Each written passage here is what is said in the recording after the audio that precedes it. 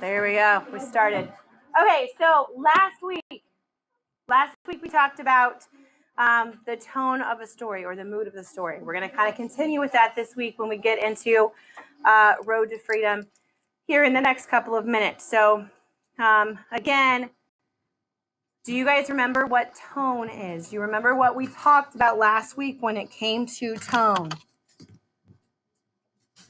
My fourth graders, the only ones that were listening. Come on, guys. Tone. Nolan, what do you what do you remember about tone?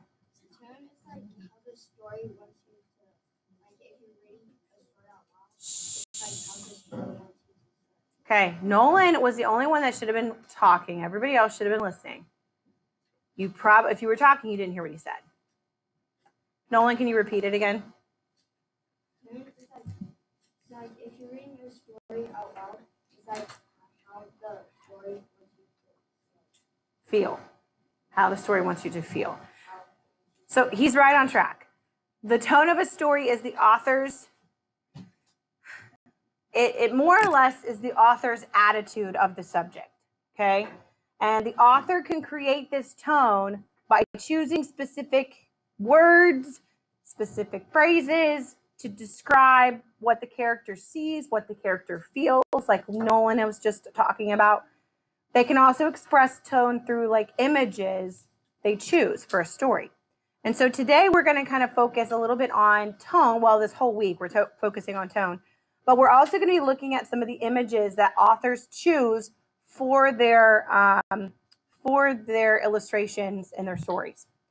So right now you're looking at this little blurb right here, and I can't make it big because I am recording this for my for some other students.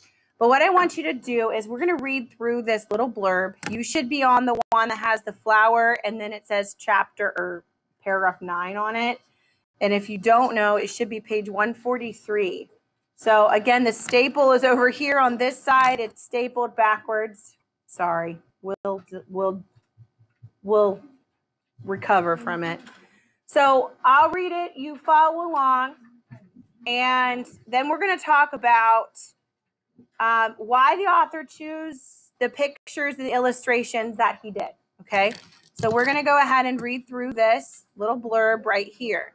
Follow along with me, okay? Everybody there? Everybody good? Okay. When, again, I'm not really sure how this name gets pronounced. We're just going to go with Gian. When Gian shone his flashlight in the box, he was astonished by what he saw. There was an old photo album. The first photo was of a garden filled with beautiful yellow and orange daylilies. They looked just like the flowers that Gian and Lin saw growing wild in China. Gian smiled. He didn't realize that daylilies would grow here. The next photo was of a little girl smelling one of the flowers in the garden. Gian thought about how happy she looked in the photo. As he and Lynn looked at the rest of the photos, Gian realized that another family had once lived in this old farmhouse and they made memories here. Maybe his family could do the same. Okay, Liv, were you following along there? So look at the image right here this lily. I mean, it's just an illustration. Someone drew it and we printed it on the paper. Why did the author, whoever the author is of this passage, why did they choose this image to go with this illustration?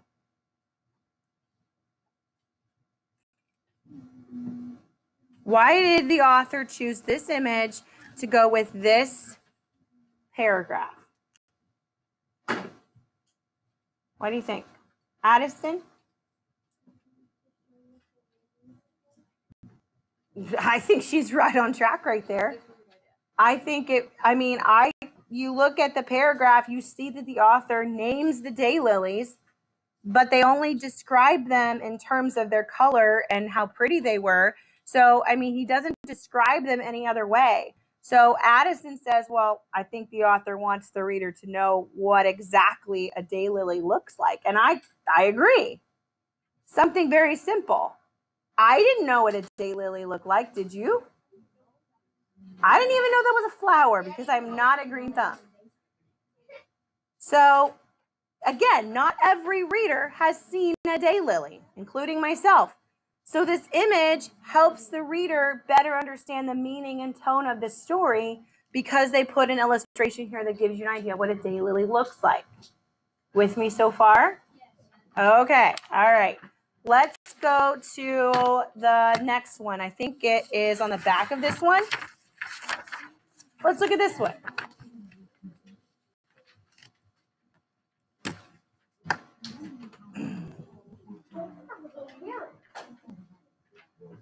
So again, the visuals that are used with a story have an impact on the reader's experience. Okay, so authors make sure that the visuals they choose reflect the tone or the author's attitude towards the subject they're trying to like they're, trying to convey. So they have to pick they, they strategically pick illustrations and pictures that go with their paragraphs. Okay, so let's read this one out loud. This one is one page 144. If you're not there, it has a little picture of a tornado there. Um, let's read this one out loud and let's see let's see what this one looks like. On a warm spring day, Gian, oh, we're still with Gian and Lynn. Gian and Lynn were feeling restless. They were outside playing catch when storm clouds started rolling in. The clouds were dark and menacing. Their mother told them that these storms were common in Illinois and they should go inside and turn on the weather radio whenever they suspected a storm was coming. Gian listened to the weather forecaster say that there was a tornado warning for the area. The forecaster said that people should take cover in the lowest area of the house. Gian knew that he and Lynn had to go into the cellar to be safe. So think about the tone that the author's trying to convey here, or the author's trying to show us, describe to us. Take your pencil and underline the words and phrases that help you understand this tone. You can work at your table if you want to. You don't have to work by yourself. But look and see if you can find some words or phrases, strong words, strong phrases that help you set the tone for this particular paragraph. Look and see if you can highlight them, underline them, circle them, whichever you do.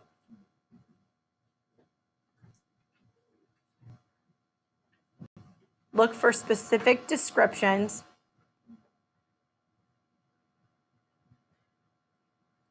I mean, you're looking at this picture. Think about what's what is what words and phrases are describing this picture.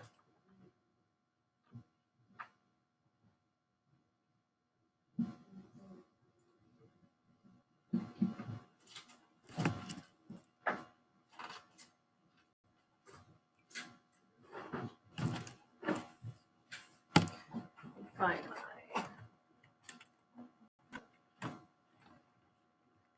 usable.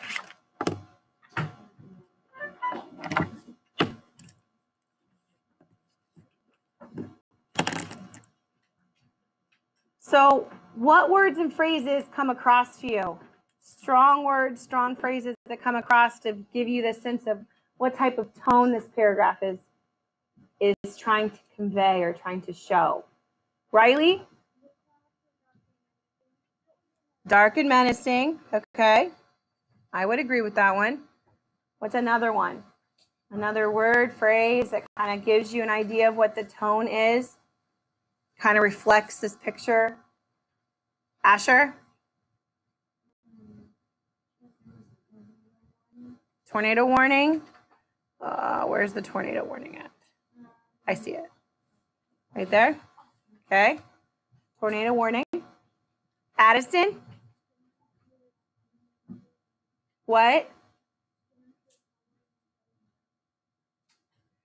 Maybe just the storm word or storm clouds. I mean, I know that's above, but storm, storm clouds, that kind of gives you a sense of a tone there. Bo, do you have another one? Okay, Jace? Take cover. Okay. Anything else? Nolan?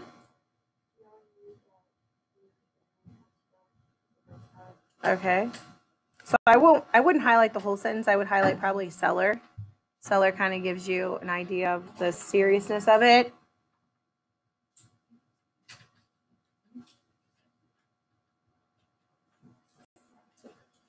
Again, the forecaster said that people should take cover in the lowest area. I think that kind of helps a little bit too with showing the seriousness of this particular paragraph or blurb, whatever you would like to call it. So, my next question this is kind of important. My next question is based off of the words and phrases that we have kind of identified and the illustration, the picture. What is the tone of these paragraphs? What's the tone? What's the author trying to what's the author trying to convey with the tone? Remember we talked about last week the tone could be tone could be comical, tone could be excitement, tone could be sad. What would be the tone of this these two paragraphs here? What do you think? I I would hope I'd have more hands than I have right now at this particular moment. What's the tone? George, your hand went up. What do you think? The tone. Okay. So you're saying scared?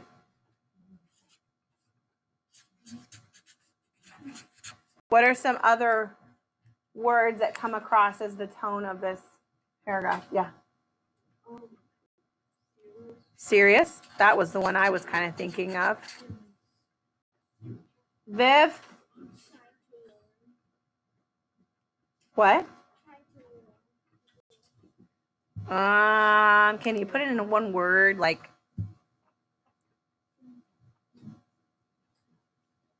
danger maybe? Another one? Do we have another word that we could use? Addison? Huh? Nervous? Maybe a feeling of like dread because of the storm. You know, you're thinking a severe storm's coming. Gian has no choice, but he has to go down to the cellar. So again, these are all really good words that you guys came up with for the tone of these, this paragraph. This obviously isn't going to be a comical tone. This obviously isn't going to be, um, you know, a happiness or excitement. It's not going to be mysterious or creepy, but it's definitely more of a serious danger, dread type of feeling. Okay. All right, we're going to stop there.